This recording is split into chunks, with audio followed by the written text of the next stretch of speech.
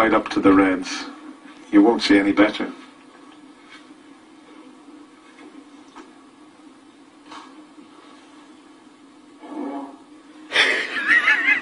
There's a noise in the crowd there.